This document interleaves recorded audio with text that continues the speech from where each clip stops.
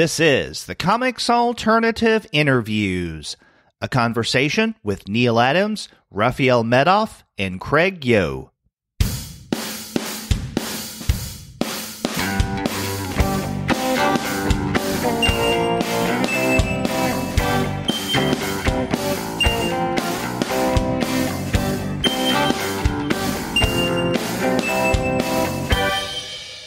Greetings and welcome to another episode of the Comics Alternative Interviews. I'm Derek, and on this episode, I have the pleasure of talking with Neal Adams, Rafael Medoff, and Craig Yoe. They've recently released a new collection, We Spoke Out, Comic Books and the Holocaust, and I talk with all three of those guys about their project. But before I share with you that interview, I want to let you know that this episode of the Comics Alternative Interviews is brought to you by the great folks at Discount Comic Book Service. Go to their website, dcbservice.com, for all of your comics pre ordering needs. There, you're going to find all DC, Marvel, Image, and Dark Horse titles at 40% off of the cover price if you pre order.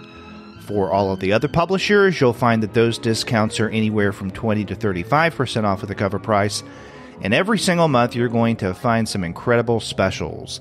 Sometimes those specials could be as much as 45% off of the cover price, sometimes 50% off cover, but every now and again, you can find discounts that are even more impressive than that. And if you go to DCB Service right now, you'll find that you can get a copy of We Spoke Out, Comic Books and the Holocaust, at a whopping 35% off of the cover price. This is a great hardback that should definitely be a part of your collection. But you can also find other Yoe books at DCB Service, including Super Weird Heroes, Haunted Love, and The Art of Archie covers at a similarly impressive 35% off cover price. No matter how you slice or dice it, you can't beat the prices at Discount Comic Book Service. Go to dcbservice.com for all of your comics pre ordering needs. And after you do get your titles there, please be sure to send them an email and tell them that the two guys with PhDs sent you. I've been lucky enough to have all three of today's guests on the podcast before. I've briefly interviewed Neal Adams at a couple of different cons, releasing those conversations as part of our on location convention shows. Rafael Medoff was part of our special roundtable on politics and comics that was released on election eve 2016. And of course, as listeners of the podcast well know, we've had Craig Yoe on the show so many times that I've about lost count. What makes this such a notable episode is that now I get all three of these guys on at the same time to talk about their new book, We Spoke Out Comic Books and the Holocaust. Each comes with his own set of experiences with this collection, but what comes across so clearly in the interview is how Neal, Rafael, and Craig easily play off of one another and become a lean, mean, creative team. In fact, I happened to talk with them right before they headed over to the American Jewish Historical Society in New York for the book's official launch. It was a fun and insightful conversation, and let's listen to that now.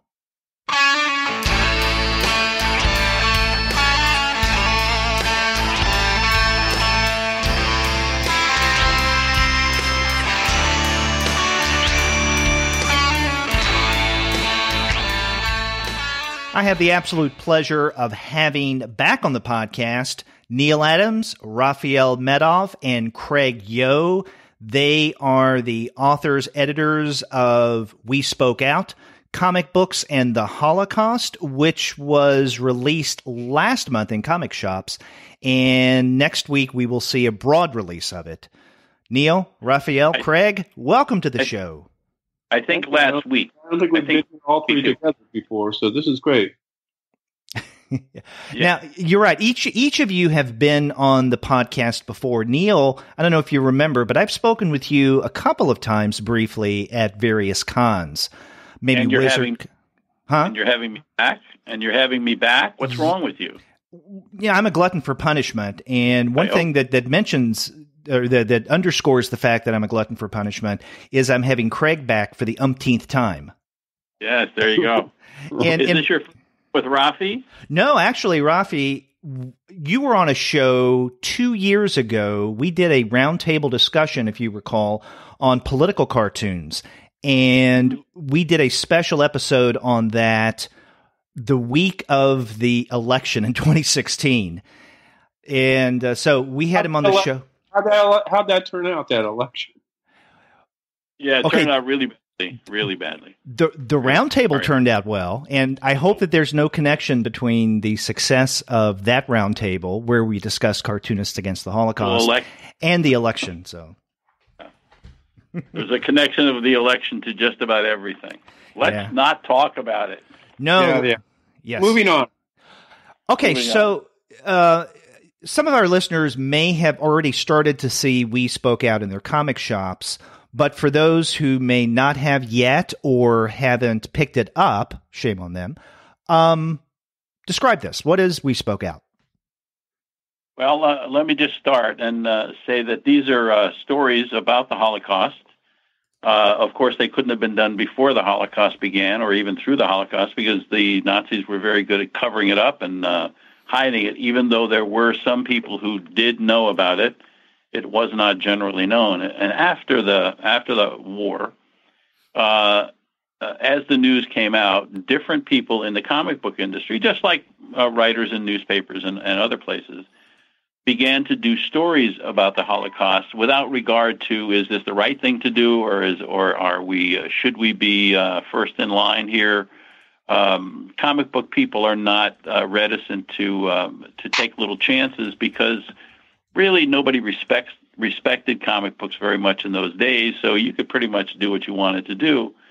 So there was an opportunity to tell stories uh, about the Holocaust. And to be perfectly honest, one of the first ways that I was outside of the fact that my father was in the army and I was in Germany, uh, exposed to the Holocaust was in a story that I'd only heard quietly from my friends okay, that was uh, done in EC Comics that was just about the most powerful story uh, uh, that we have in the book. It's called Master Race, mm-hmm. and it was by it was drawn by uh, uh, Bernard Krigstein, who is a very very underrated uh, but terrific artist, almost legendary in in in our circles who did a story about about uh, the uh, character in in the scene in the subway, but was obviously an escapee from uh, Nazi Germany, and and that was that that was a legendary story. And art, comic book artists and writers would track it down so they could see what Krigstein did and how that story was handled.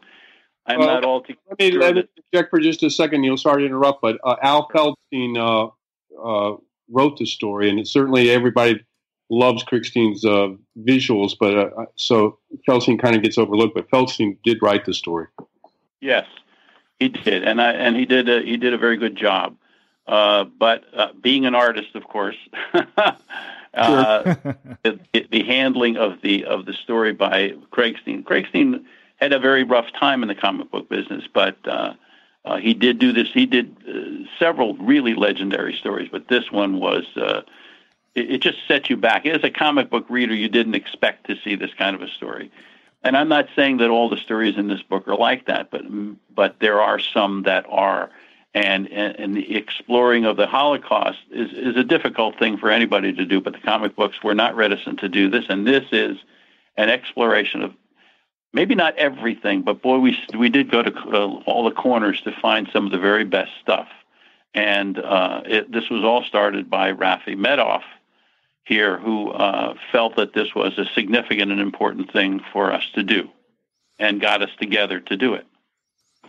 In fact, you anticipated my next question, which was the you know what was the genesis of We Spoke Out? In other words, how did all of you get together? So, Rafi, you're the one who pulled the band together.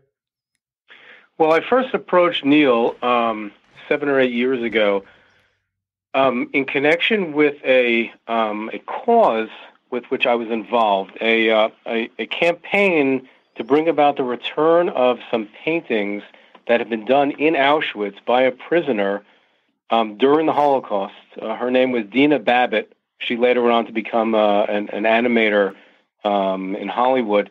but she was a prisoner in Auschwitz. She was forced by the Nazis to, to create a number of portraits um, of gypsy prisoners. She survived the Holocaust, and after the war, the paintings turned up um, in the hands of a museum that was established at the site of where that death camp was. It's called the Auschwitz State Museum. And Mrs. Babbitt had been waging a kind of a lonely struggle to try to convince the museum to give her back her original artwork. When I heard about her plight, um, I immediately thought of Neal Adams because as a teenage comic book fan, I was well aware of the struggle that he had led um, to try to bring about the return of original artwork to comic book artists. So I saw a natural connection there, and I went, I went to meet him um, but not as a comic book fan. I went as a you know as a Jewish historian involved in Holocaust um, scholarship and uh, and education. Neal, within five minutes, um, saw through my guise, and he realized that I was in fact a comic book fan, uh, thinly disguised as a Jewish historian. And on that basis, we we we created together a um, a comic strip about Dina Babbitt's plight. Um, told what happened to her and appealed for the return of the paintings. And that, that comic strip was published um, by Marvel as part of its um, miniseries on Magneto, who, as comic fans well know, himself has a, a backstory involving uh, time that he spent in Auschwitz.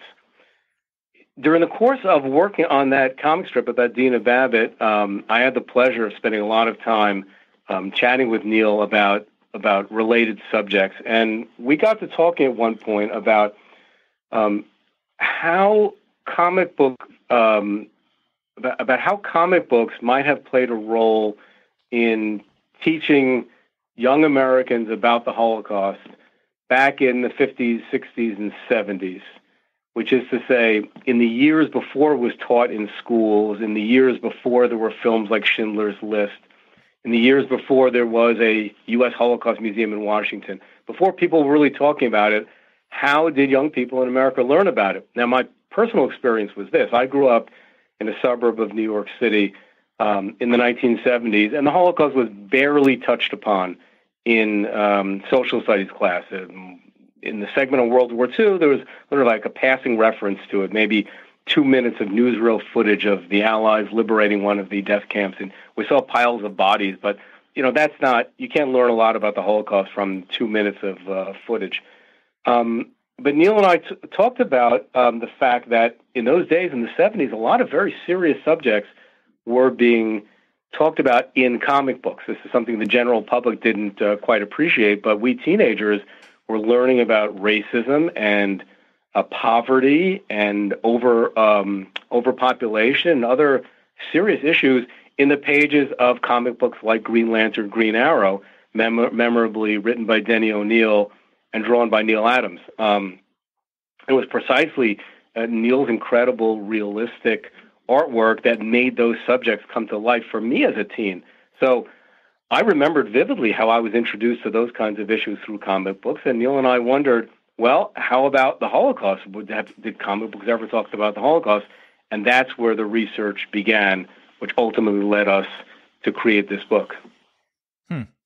Now, at what and, point did you bring this project? Oh, and so was enlisted Craig Yoe, who oh. is a who is a major force in uh, uh, putting together uh, publications like this. Who has uh, got relationships with the publishers and can get things done. It's not uh, Craig is not a person who uh, stands aside and if if the if the project is worthwhile, let somebody else do it. He just plunges right in and moves forward. And he not only does have ha- not only did this, but has projects on his own that are well, I don't want to say more significant because, of course, we're talking about this now, but he certainly has done things to uh, to advance the uh, uh, use of comic books in many areas. And I think now is the time to ask Craig.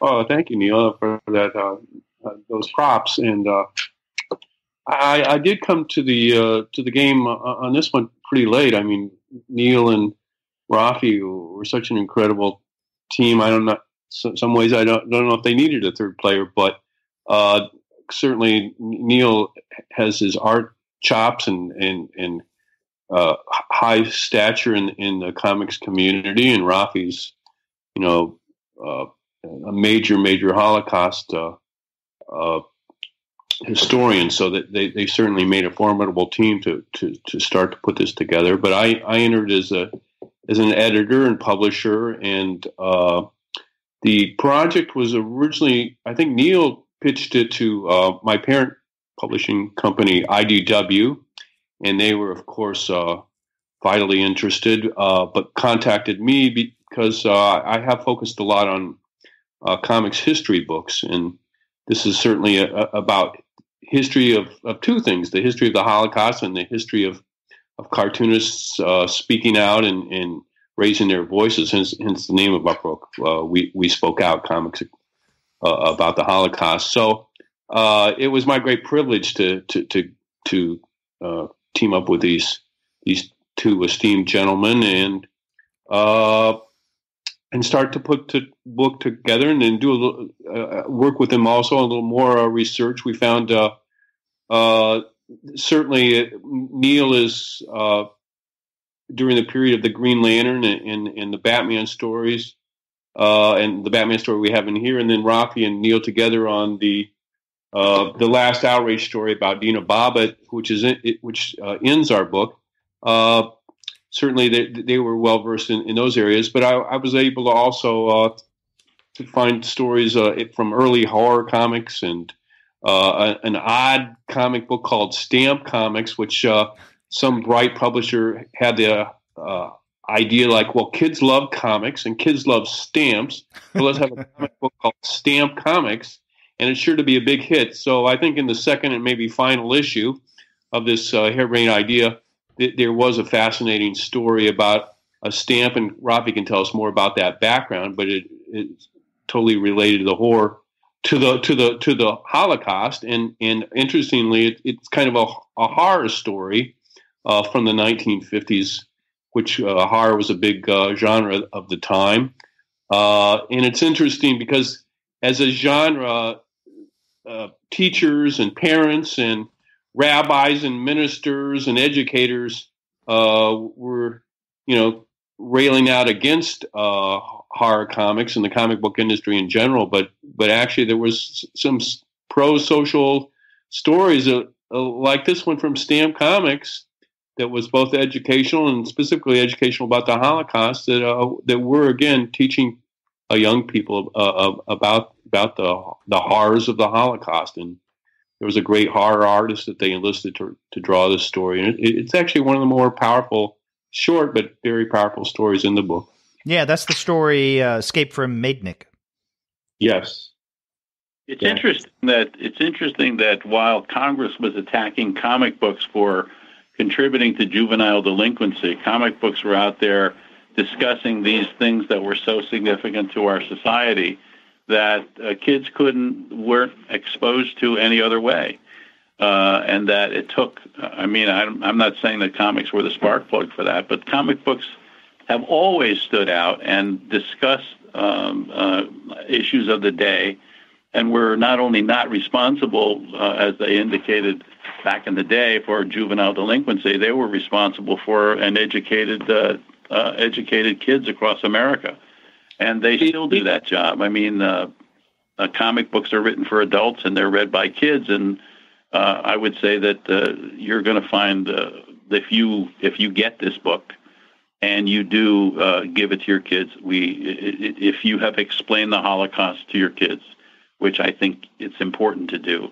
then you're going to give them something that they can readily absorb and pay attention to instead of some of the more horrible things that you see on public television, which uh, make it very, very difficult to to see these things.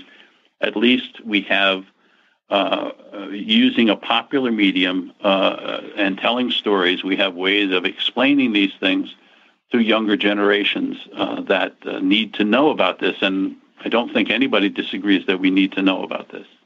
You know, Craig is a great expert on EC comics, and he found um, in his research a particularly fascinating uh, comic strip that we included in the book called Desert Fox, written by the legendary Harvey Kurtzman, illustrated by the equally legendary Wally Wood. Um, and the remarkable thing about this particular um, comic strip, Desert Fox, is this.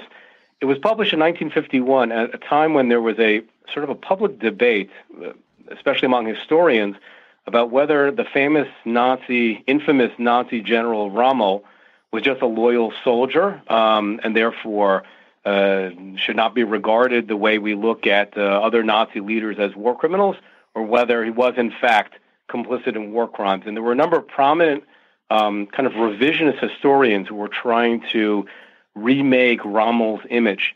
And, the comic strip um, by Kurtzman and Wood is actually a response to that public debate. It's actually Kurtzman and Wood kind of, in effect, giving a comic book version of a response of what historians should have been saying um, in response to this kind of. Revisionism. It's really quite a fascinating piece to to see something that is in comic strip form, but is really almost at the level of a of a scholarly rebuttal to people who were trying to whitewash this uh, Nazi general.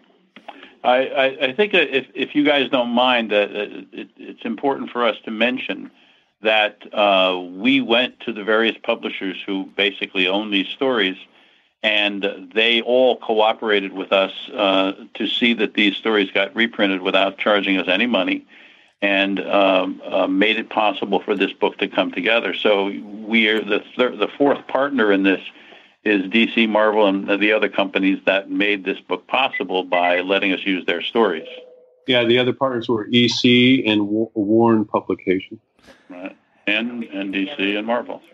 You know, that's one of the things. That's one of the things that struck me about this book is that it's a collection where you have comics not from smaller publishers or let's say non DC or Marvel.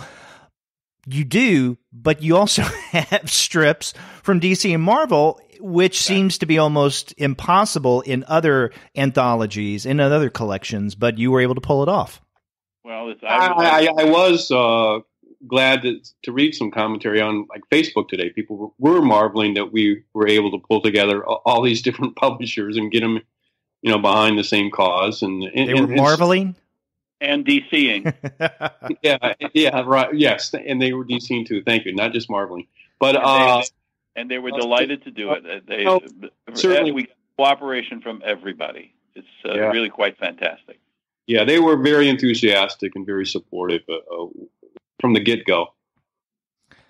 Now, one of the things that you, Rafi, point out in your introduction and also in the introductory brief essays that accompany each of the 18 comics entries, and they do a great job of setting a context, but you point out that it wasn't until we get into I don't know, maybe around the 1970s that more attention, significantly more attention within comics or just pop culture in general uh, starts to find its way, you know, uh, instructing people about the Holocaust. And I was wondering as I was reading through this collection how many comics that dealt with the Holocaust in one form or another that you could have included, but for different reasons you may not have decided to include.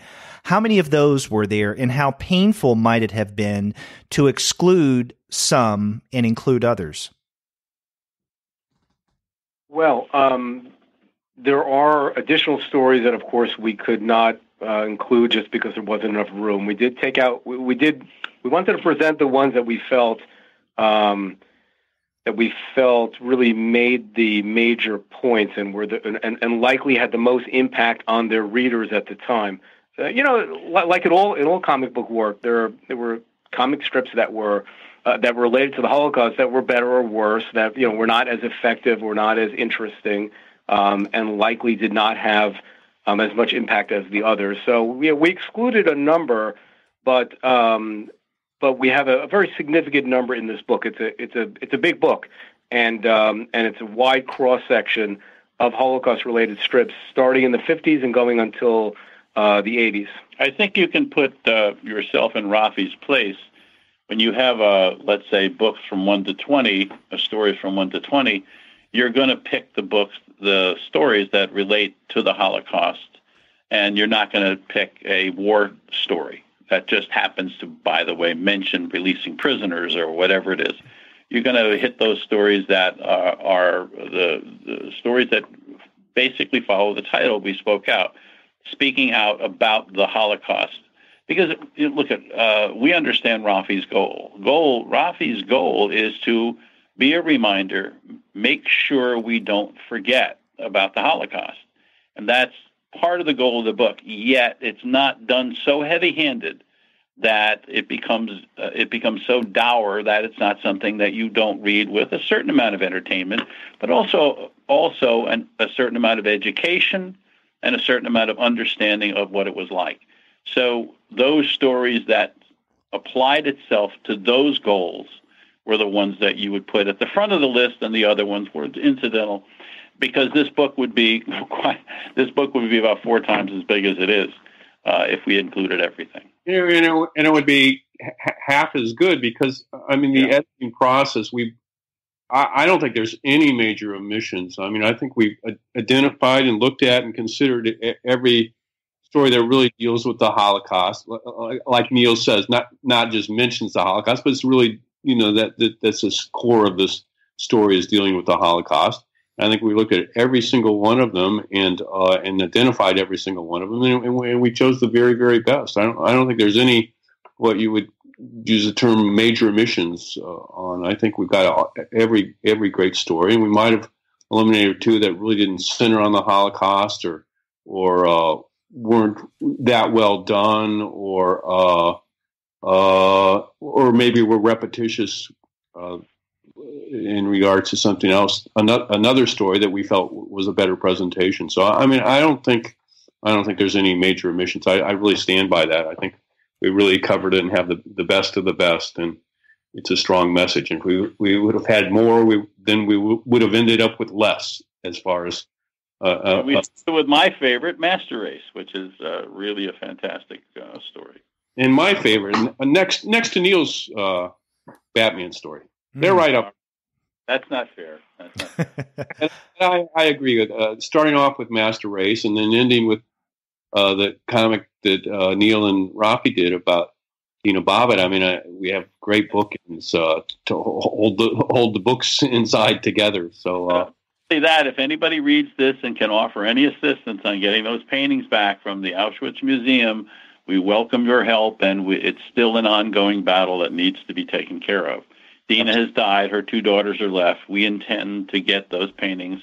And you know what? The first thing that'll happen, they'll loan the paintings to the museum as soon as they get them back. I mean, it's just, it's it's a, it, it, we're looking for a happy ending for everybody. And I and please make sure you read that story.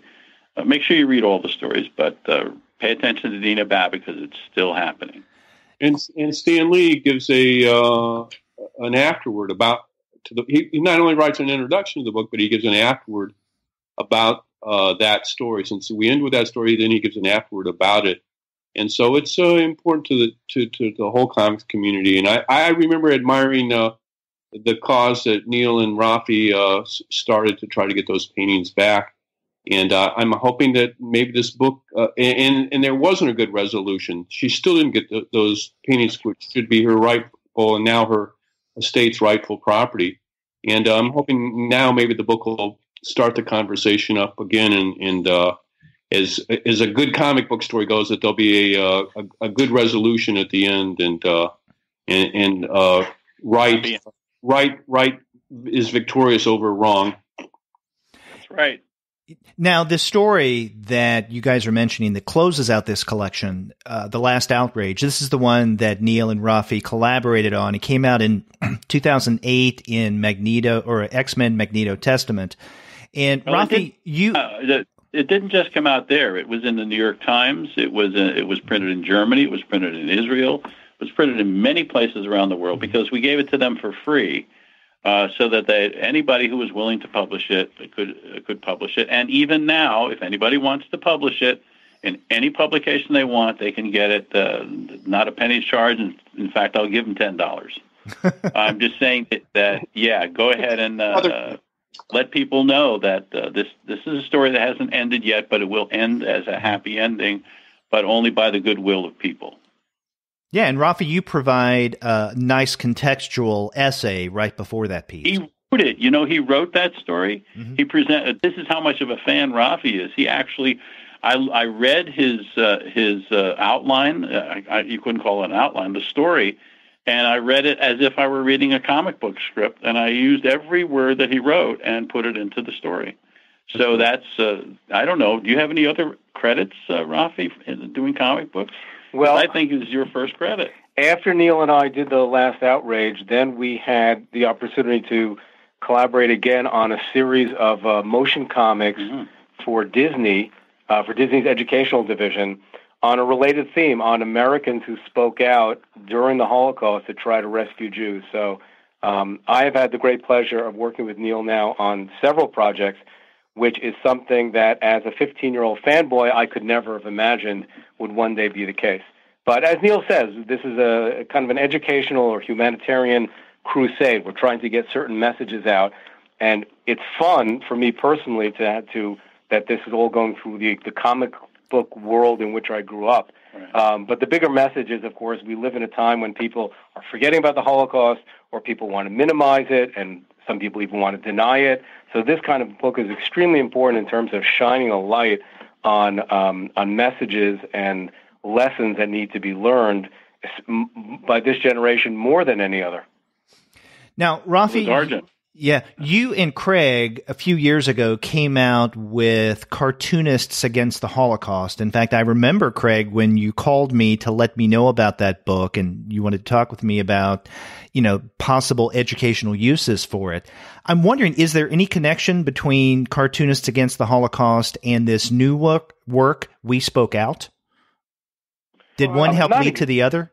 I think there's not exactly, except in the general sense that um, graphic artists played an, an interesting and important role uh, in both cases. The Cartoonists Against the Holocaust was about political cartoonists um, who drew cartoons in American newspapers in the 30s and 40s to try to call attention to the plight of the Jews who were being persecuted by the Nazis.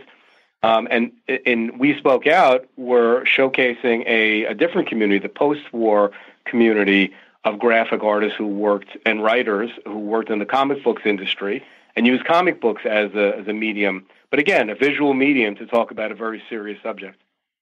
By the way, that community, uh, in addition to, to, to Bernard Krigstein and, and, and the incredible Neal Adams, uh, you know, we the book's kind of a besides uh, being uh, a who's who of publishers, uh, they're ta- they're it's a who who of who's who of their talent because we, we, we also have like Gil Kane and Carmen Infantino and Jack Davis and John Severin and, and Gene Colan, Robert Kanigher and Roy Thomas and uh, you know just it's and uh, Frank Miller and it's just like a it's an incredible group of artists and writers who who are behind these stories you know and, and, and my favorite. The, which one's that?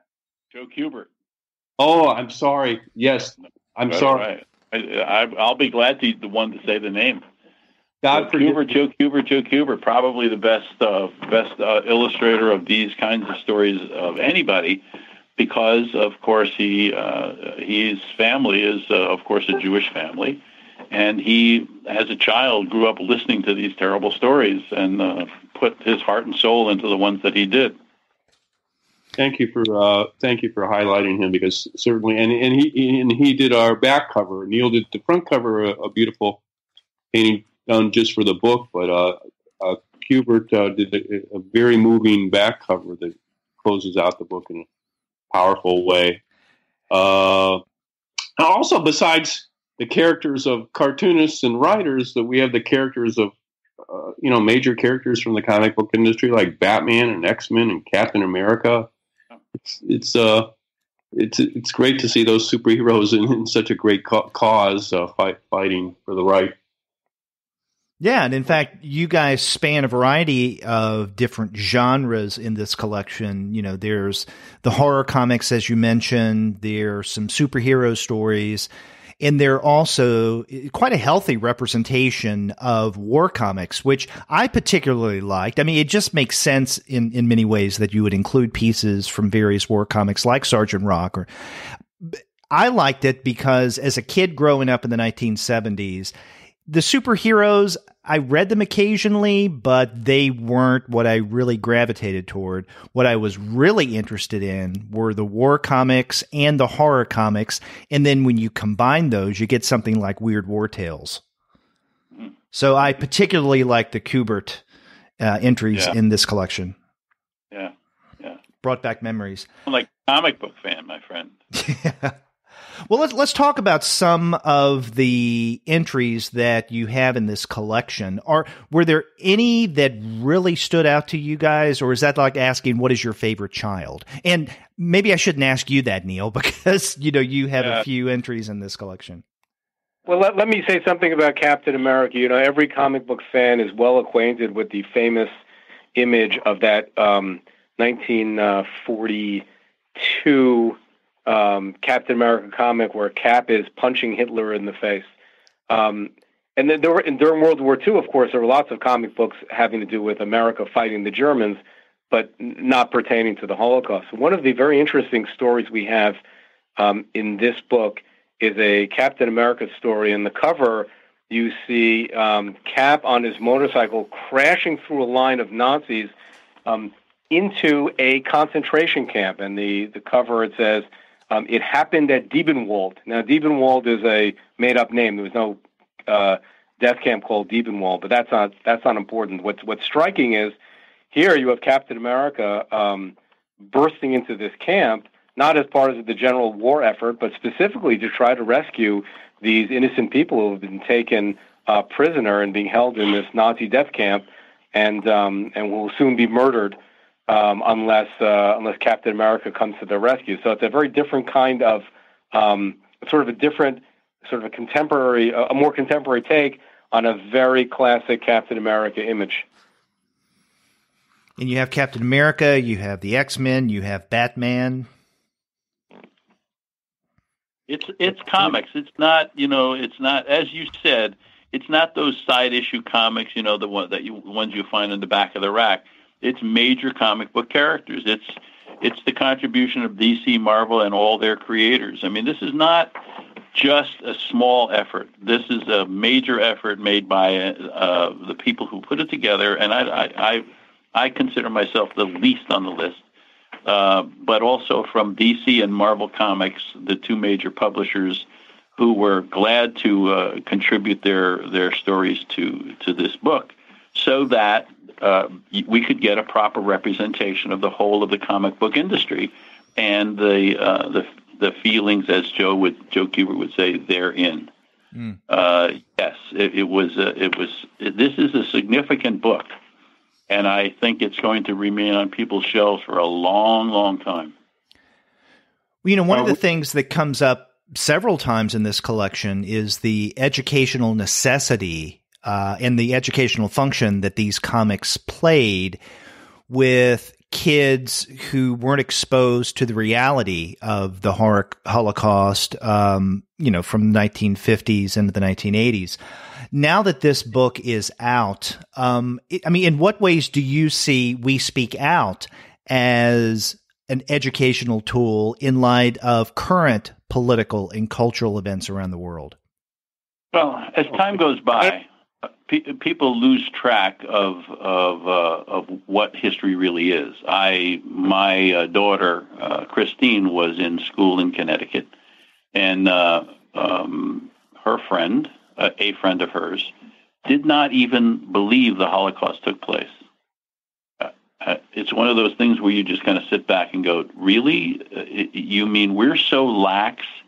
In informing our children that there are people going around who do not believe that the Holocaust took place. You're talking about one of the greatest tragedies in the 20th century, and people don't know about this. You know, uh, uh, I I put up with uh, Rafi in a very very positive way because Rafi does the one thing that I think is so significant to our society, and that is to remind us of our history. We cannot go on doing stupid things without being reminded that we are doing stupid things by history. And as we view those things and as we teach them to our children, we have to teach them in ways that they understand. Nobody wants to read some tome that is, you know, uh, 12,000 pages that they have to wade through and they will lie about by reading some, you know, little uh, excerpt of it, but actually read things and read words and see pictures that will make them understand what the reality of the world really is that they live in and not to be uh, fed fairy tales that just don't exist. We we owe this to our kids. We owe it to ourselves, certainly, to remind ourselves, but we more we owe it to our kids. Because when we're gone, if they forget, it could happen again. And that's really the message, isn't it? It could happen again. Do not think for one minute that this kind of thing it's happening in other places in the world. We know it. I mean, we watch the news every night. And so we don't want it to happen in America. We want our kids to be educated. We want our popular medium to remind them now and then, maybe not so heavily, but certainly remind them in ways that they can absorb it and they can think about it and use their own brains to make their decisions about what their attitudes are going to be.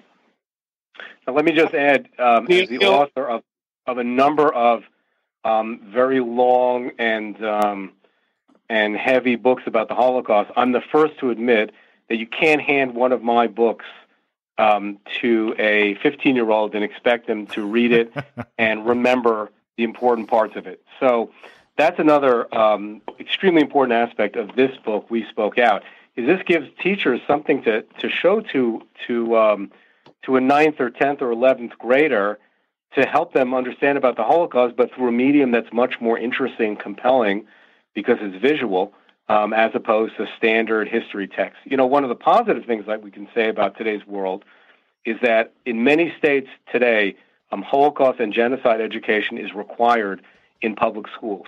Um, but just because it's required doesn't mean that teachers always have the most effective materials to transmit that information. This is a difficult subject. It's a, it's a dark subject, and um, and a book like We Spoke Out becomes a, a, a teaching tool, a unique way for teachers to to reach students to help acquaint them with this subject instead of just handing them some gigantic history book and hoping that they'll remember something from it.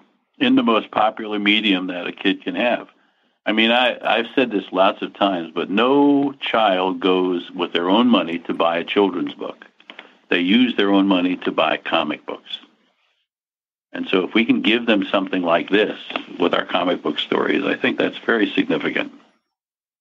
I, I want to disagree. As much as I respect Mr. Neal Adams, I'm going to have to disagree with him. I think he's been a bit of an alarmist.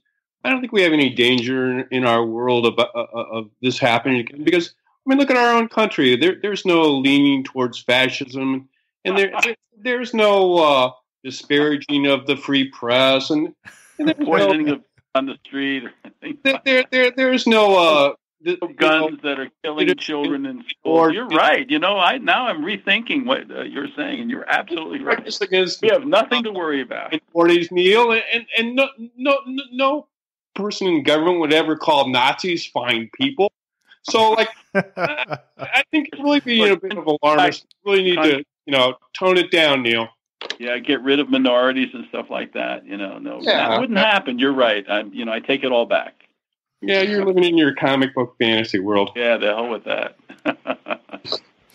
you know, this does come at a time in our worldwide cultural history where we do see a rise in anti Semitism and along with that, going hand in hand with it, is this rise of right wing ideology, and we see this obviously on our on our own soils. But yeah, how about anti Mexican? How about uh, anti black? I mean, there's there's a, there's a rise in anti lots of stuff going on right now. I mean, we're we don't want this in our country. We don't want this kind of stuff. Yeah. you know, things. You know, I'm not looking. I'm really not an alarmist, but I will tell you that I, you know, I, I do not turn on the news with a good attitude at night. And a book like this, I feel we're making a very, very small contribution. So, you know, anybody out there who wants to read this, I, I invite them to do it and keep your mind open and, and please, please teach your children about history. Amen. Amen. now, you you had mentioned earlier that Stan Lee includes an afterword that accompanies that story on uh, Dina Babbitt. He also wrote the introduction for this collection, did he not? Yes. because he is Stan after all. He's Stan the Man. You know, Stan is uh, Stan is a straight up guy, and uh, and Stan is out there. He never paused a moment when he was asked. Never paused a moment, wouldn't you say, Rafi? No, that's absolutely right. Neal first approached Stan when we were when we were working on the Dina Babbitt comic strip, um, and he right away uh, generously wrote that afterward, which appeared in the Marvel uh, Magneto comic. He narrated one of ours. And then he na- then he exactly he narrated, narrated one, of one, of the motion comics that we did in That's that Disney right. series. That's right. Um, and then it almost followed naturally from that that we asked him if he would also write an introduction to We Spoke Out, which he generously did. So you have a, two very interesting contributions from Stan, the beginning of the book and at the end, that really kind of sum up a lot of uh, the major and important themes that we want to bring out.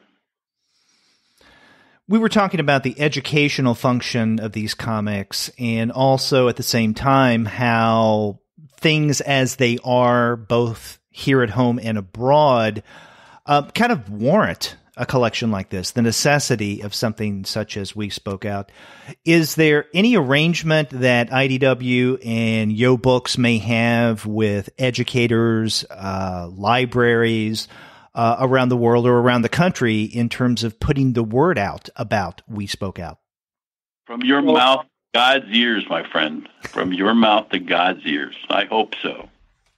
Uh, the IDW and uh, you know which Yoe Books is is a a uh, imprint of uh, is distributed by Random House, and all of us, Yoe being the least of the three, but uh, IDW and Random House are very excited about this book, and they certainly see the possibilities of it. Uh, you know, reaching out to comic fans, the general public, and, and educators too. And there's going to be a lot of effort uh, to, to to get the word out. And uh, you have an you you you you are our first uh, interview, Derek. So uh, this this is just the beginning, and we we expect uh, this to get a lot of media attention. We expect it uh, uh, educators and comics fans and teach and uh, uh, just the general public to really uh, you know embrace this book and see the importance of it and and and and, and and how fascinating it is because you know we we're, we're a little scared of that educational word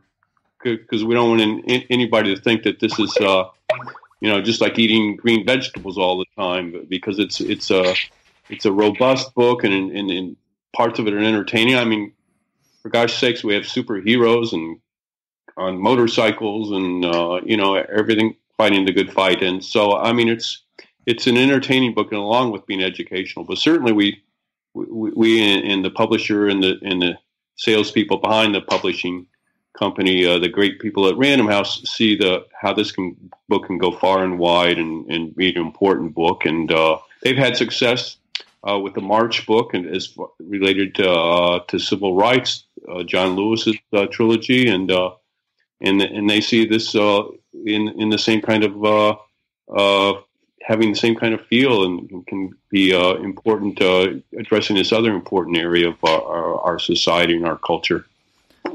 You can see you can see the the difficulty of us uh, not taking either of the definitions, educational or entertaining, on either side. We must, you know, we're floating down the middle where we know the that comic books are done for entertainment, but sometimes we handle serious uh, subjects, and this is a serious subject. So yes, it's all compiled together. So you could say it does have an educational bent or a serious bent but at the same time, it was originally meant for entertainment. So we can neither say either one. You know, we have to say it rides the it rides in between. It's popular culture, Hmm. and it presents a problem that is real. And uh, so we don't we're not we don't want to take uh, credit for either end of that. We don't want to be educational. We don't want to be entertaining, but we do want people to read it and get out of it whatever they feel they can. Now, that, that that word edutainment always is kind of cringeworthy to me because it almost seems like it's it's neither. But this this book is both. It is educational and entertaining, and we're proud of that. And we think that's what's going to give it the one-two punch. Uh, you know, to get to get the you know, to reach people and to get the message across in in, in a uh, popular uh, medium. I think Maus did a, a very similar thing. I think you're talking about that same kind of uh, section of of our audience. It's uh, kind of like Maus, only different. Hmm. Now, as we record this, which is April 11th, you guys are preparing to speak this evening at the Center for Jewish History, and this is where you will launch the book. Is that correct? Yes, the Center for Jewish History is one of the most prestigious Jewish scholarly institutions in the world. And um, they will be hosting the launch event at which Neal, Craig, and I will speak. Uh, and there will also be a book signing afterwards. Um, this is a combination of a commemoration of Holocaust Remembrance Day, which begins this evening, and the launching of We Spoke Out comic books and the Holocaust. Hmm. Rafi, when it, when he first told me about the museum wanting us to be their featured uh, their feature tonight, tonight for this prestigious and important uh, event, uh, he, he, explained to me that they're like the Smithsonian, you know, of the Jewish culture. So I mean, it, it's really uh, I've actually put on a, a, a suit coat for tonight's. Stuff. Wow. Yeah. Craig yeah. in a suit coat. Yeah. So uh, it, it's it's it's going to be a real honor to be there with these these gentlemen, and uh, uh, I, we're really excited about it. So this is the kickoff. Uh, do you either the three of you together or individually have other events in the weeks and even months to come? uh, that will revolve around We Spoke Out? Well, we'll certainly be doing some uh, pro- some uh, panels at major comic book conventions in the year ahead. That's one segment of the of the reading audience that's interested. At the same time, uh, I will be speaking at various synagogues and Jewish community centers and other Jewish communal venues uh, where people are, of course, very interested in this topic people, you know, in the Jewish community know a good deal about the Holocaust, but the idea that comic book creators played a, played a role in, in teaching teaching young Americans about the Holocaust that is something very unusual um, and unique and and fascinating. Actually, uh, Rafi and I and uh, Neal's uh, in the neighborhood, so we hope you'll maybe at least drop in. We're going to be at the uh, uh an interesting uh, convention called the what's the official name, Rafi? The Jewish Comic Convention. Jewish Comic Con, April Sunday, April 29th in Brooklyn. Yeah, so uh, well, that's whole industry, isn't it? right. Yeah, I mean, uh, Neal makes a humorous but uh, factual uh, uh point. Uh, much of the comic book industry w- w- had Jewish uh, creators and publishers behind it, and actually, I'm researching another project, uh, a, a, book on superheroes, uh, and I was j- just uh, finding that you know there was quite a uh, there was a, a, some a few significant stories. Let me put it that way of of uh, that predicted.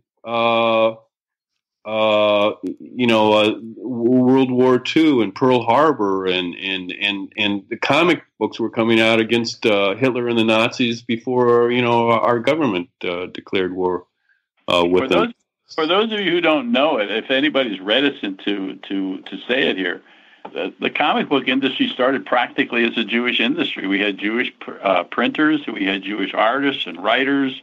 Uh, most of the artists and writers came from the Lower East Side, which was a uh, I wouldn't say a ghetto, but certainly was a, a cluster of, tremendously talented Jewish people who went into showbiz, who went into Yiddish theater, who went into comic books. So we have we basically have a Jew uh, comic books have a Jewish history. It's only in uh, the recent uh, decades that we have people that are not necessarily Jewish. I mean, we we started out. Uh, Jack Kirby was is Jewish, uh, was Jewish. Stan, of course, is Jewish. Basically, the industry was very much a Jewish industry because of the Lower East Side, because that's the way New York evolved and developed you're not going to go and get some cowboy from Wyoming to become a comic book artist.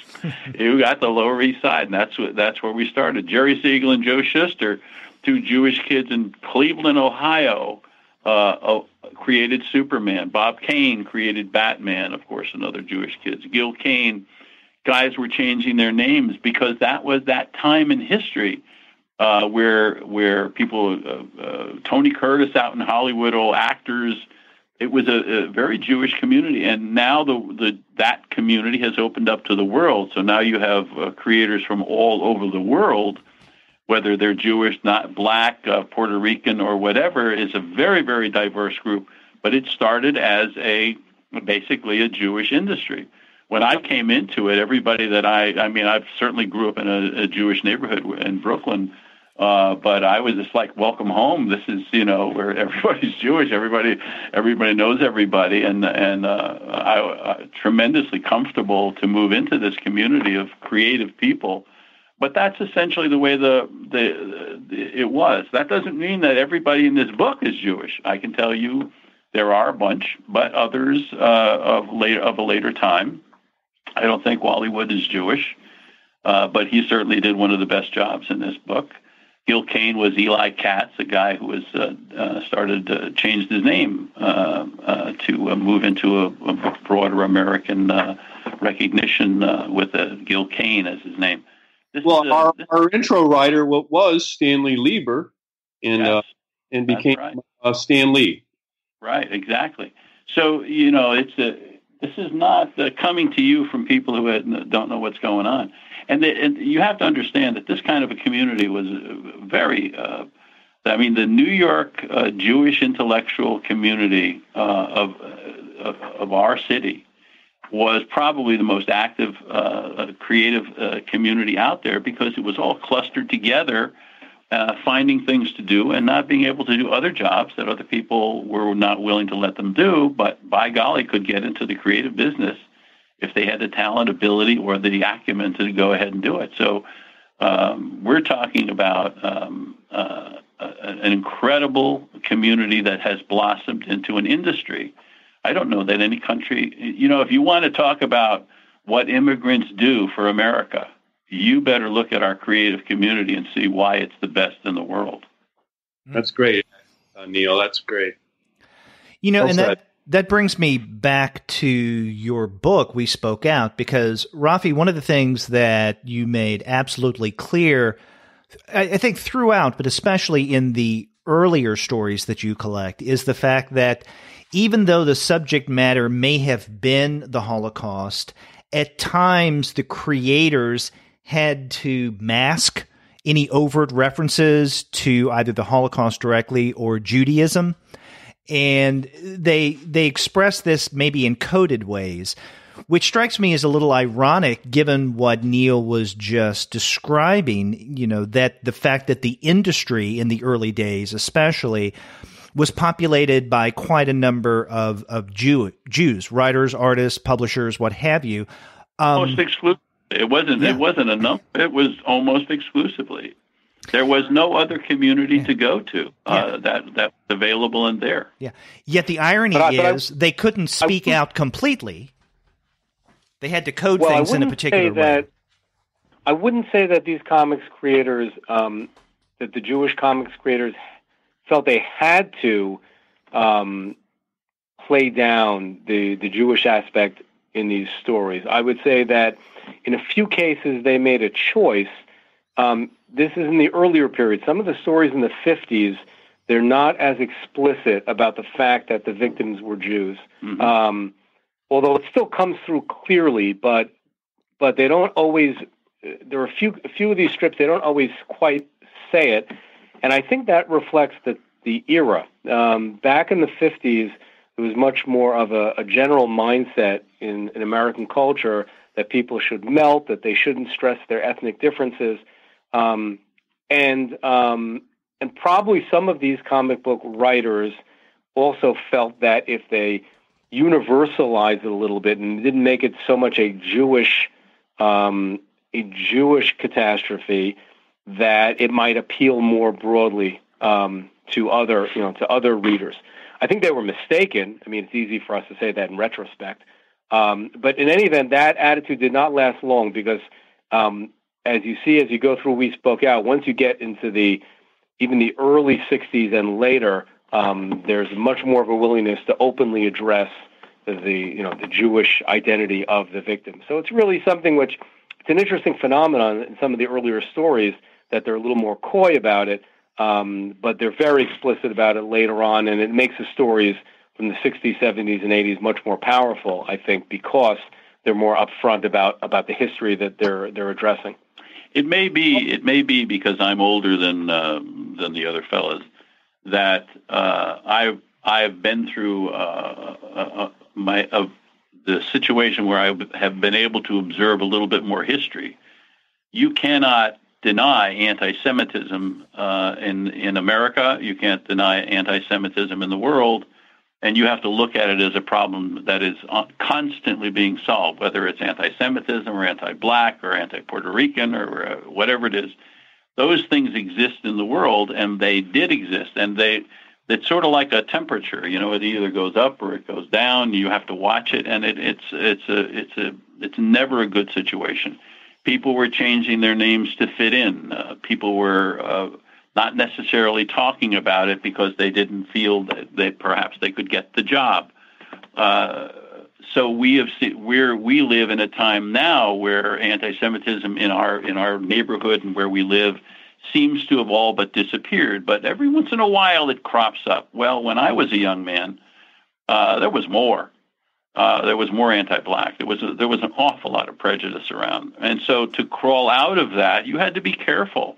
You had to be you you had to be watchful. So, the, what we have in this book is, well, for example, uh, in America, the idea that there was a Holocaust in in Germany was uh, insane. I mean, the politicians didn't believe it. Nobody believed it. It was it was denied. You know, it was uh, people uh, people spoke out about it, but the, it, they weren't believed. There were people who who saw this uh, these things happen, came to America and testified and wrote books on it, and still people didn't believe. So, uh, an awful lot of that is based on uh, uh, an anti-Semitic approach that is slowly going away. But it, to say that it's completely gone is ridiculous. Uh, it, you have to be realistic about the world that you live in.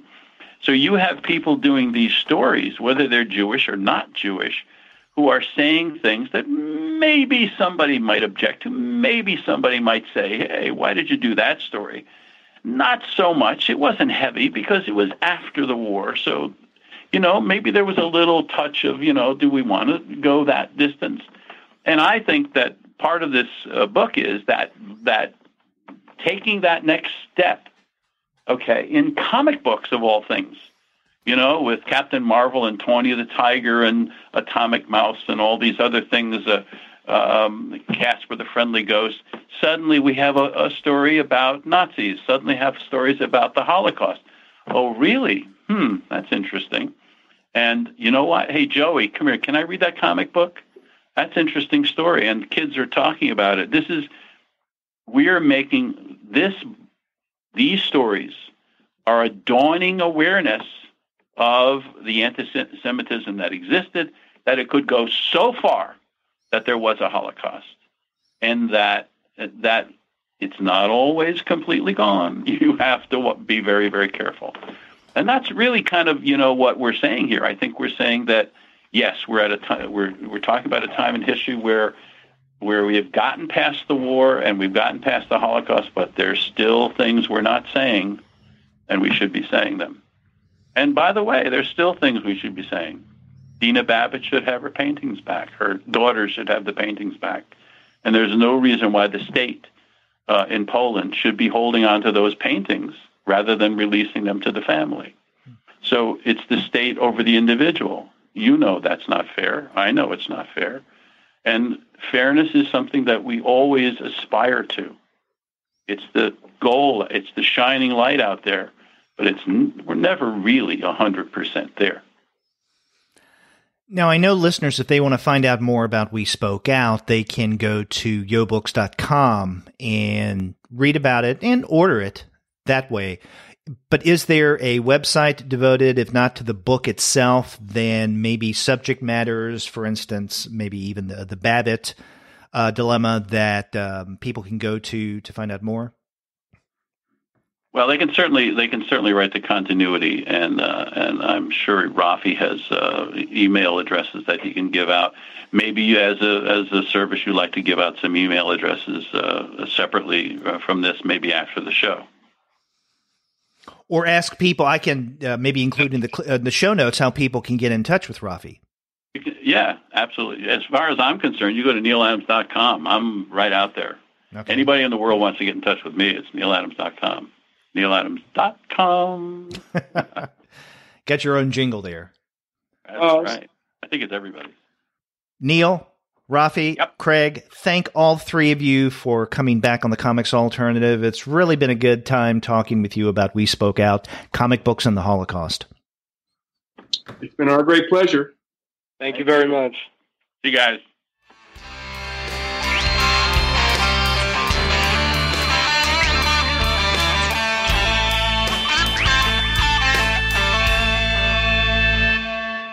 Again, I want to thank Neal, Rafael, and Craig for taking the time to talk with me about We Spoke Out. It was actually not as difficult as I thought it would be, finding a time when all three of us could get together at the same time. I hope you enjoyed that conversation and will check out the new book. And the best place for you to get a copy of We Spoke Out is online through our sponsor, Discount Comic Book Service. As I mentioned at the top of the show, if you go to dcbservice.com right now, you'll find We Spoke Out at 35% off of the cover price. That's dcbservice.com. And after you do get your book there, get in touch with me and let me know what you thought about my conversation with Neal, Rafael, and Craig. If you go to our website, comicsalternative.com, you'll find that you can leave us a voice message online via SpeakPipe. Or you can call us the old fashioned way by picking up the phone and dialing 4153 Comics. That's 415 326 6427. You can also email us. We're two guys at comicsalternative.com, or you can email me directly. I'm Derek at comicsalternative.com. And you can find us all over social media. We have accounts on Twitter, Facebook, Tumblr, Instagram, Google, Goodreads, Pinterest, YouTube, Slack, and Discord. You can subscribe to the podcast through Apple Podcasts. You can stream us on Stitcher. You can also find us on Spotify, on TuneIn, on iHeartRadio, and on Google Play Music. But you can find every single one of our podcast episodes, as well as the reviews and comics related commentary that we post on our blog, simply by going to our website, comicsalternative.com. We'll be back with more interviews in the days to come, so be sure to check back for those. Until then, take care.